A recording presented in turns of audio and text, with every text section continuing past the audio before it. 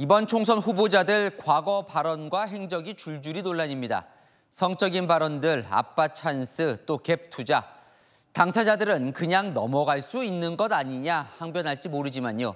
이 국민 눈높이 그만큼 높습니다.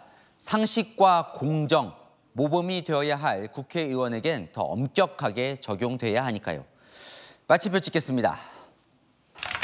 상식의 눈으로 그게 정치개혁. 뉴스의 마칩니다. 감사합니다.